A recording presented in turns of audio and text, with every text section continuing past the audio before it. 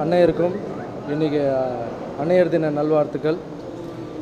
என் லைஃப்பில் பார்த்தீங்கன்னா இது வந்து ஒரு ரொம்ப நாள் லட்சியம்னு சொல்லலாம். அது இந்த அன்னையர் தினம் நிறைவேறியிருக்கு. அது நிறைவேறதுக்கு காரணம் வந்து எங்கள் அம்மாவுடைய ஆசீர்வாதம். நான் வணங்குற ராகவேந்திர சுவாமி. தாய்க்கு உ- இருக்கும்போதே கோவில் கட்டணும்னு என்னுடைய ரொம்ப நாள் ஆசை. நிறைய பேர் கூட கேட்டாங்க இருக்கும்போது எதுக்கு கோவில் கட்டுறீங்கன்னு? தான் புள்ள வந்து தனக்கு கோவில் கட்டியிருக்கான்னு எங்கள் அம்மா பார்த்து சந்தோஷப்படணும். அம்மா இறந்துற அப்புறம் காசியில் போய் செலவு பண்ணி நம்ம அஸ்தி கரைக்கிறது அப்புறம் அம்மா இறந்த அப்புறம் அவங்கள நினச்சி அழுவுறது படையல் படைக்கிறதுங்கிறத விட இருக்கும்போது அம்மாவை சந்தோஷமாக வச்சுக்கணும்னு ஆசைப்பட்டேன்.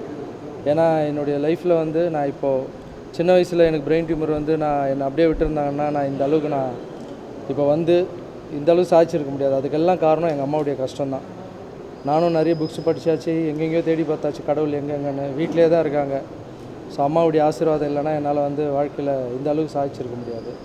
இந்த கோவில் வந்து என் தாய்க்கு மட்டும் இல்லை உலகத்தில் இருக்கிற எல்லா தாய்க்கும் சமர்ப்பணம் பண்ணுறேன் நான் வாழ்க்கையில் கஷ்டப்படும் போது இதை வந்து வேறு யாராவது வச்சு கூட திறந்துருக்கலாம். நான் எதுக்கு ஃபைட் மாஸ்டர் சூப்பர் சூப்பராக அண்ணனை வச்சு திறக்கிறேன்னா நான் என் லைஃப்பில் சாப்பாட்டு கூட கஷ்டப்பட்டுட்டு இருக்கும்போது அவர் தான் எனக்கு உதவி செஞ்சார். அவருடைய வீட்டு பையனாக நினச்சி அவர் சாப்பிடும்போது பக்கத்தில் ஒரு கை சாப்பாடு எடுத்து போடுவார். ஸோ அவருக்கு அவர் வந்து நான் நல்லா இருக்கணும்னு நினைக்கிறதுல எங்கள் அம்மாவுக்கு அப்புறம் அவரும் தான். ஸோ அவர் கையால் திறக்கணும்னு ஆசை.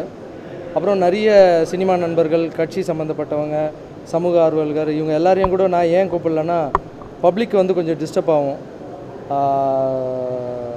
கட்சி ஆளுங்கள்லாம் வந்தால் அப்புறம் நடிகர்கள்லாம் வந்தால் மற்றவங்களுக்கு எல்லாருக்கும் டிஸ்டர்ப் ஆகும். அது அவங்கள வந்து ஃப்ரீயாக போய் பார்க்க முடியாது. அதால் அவங்களுக்குன்னு ஒரு டைம் ஒதுக்கி நாற்பத்தெட்டு நாள் காயத்ரி தேவி பூஜை முடிஞ்ச உடனே அம்மா கோவிலில் நாற்பத்தெட்டு நாள் முடிஞ்ச உடனே ஒரு பெரிய ஃபங்க்ஷன் பண்ணலான்னு இருக்கேன். அதில் சினிமாவுக்கு சம்மந்தப்பட்ட என்னுடைய நண்பர்கள் கட்சி சம்மந்தப்பட்டவங்க சமூக ஆர்வலர்கள் மற்றவங்க எல்லாரையும் பிரித்து ஒரு ஃபங்க்ஷன் பண்ணலான்னு இருக்கேன். இந்த ஃபங்க்ஷனில் வந்து மீடியா ஆட்கள் நீங்கள் எல்லாருமே கலந்துக்கிட்டு எனக்கு ரொம்ப ரொம்ப சந்தோஷம். மறுபடியும் இன்னொரு முறை மதர்ஸ் டே நல்வாழ்த்துக்களை தெரிவிச்சுக்கிறேன். தேங்க்யூ வெரி மச் சார் செலவெல்லாம் வேணாம் சார். சார் இவ்வளோ தான் செலவு பண்ணணும். இன்னும் செலவு பண்ணிட்டு போயிட்டே இருப்பேன் நான். செலவு பற்றி பேச வேணாம். ஏதோ என்னால் முடிஞ்ச உதவி வந்து சின்ன சின்ன உதவி விவசாயிகளுக்கு செஞ்சுட்டு வரேன். அது உங்களுக்கு எல்லாருக்கும் தெரியும். இன்றைக்கி வந்து மதர்ஸ் டே அதுவுமா ஒரு ஆறு தாய்மார்கள் தாலி கொடி வச்சுருந்தாங்க. அது விவசாயிகள் ஒரு சிலர் வந்து என்கிட்ட சொன்னாங்க. அது அம்மா கையால் பண்ணணும்னு ஆசை.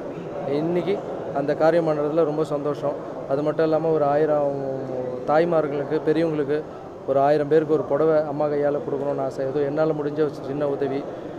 அம்மா அப்பாவை சந்தோஷமாக வச்சுங்க.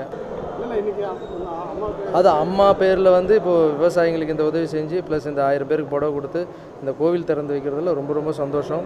ப்ளஸ்ஸு பொங்கல் தீபாவளிலாம் நம்ம எப்படி கொண்டாடுறோமோ அடுத்த வருஷத்துலேருந்து மதர்ஸ் டே கூட ரொம்ப சந்தோஷமாக கொண்டாடணும்னு ஆசை.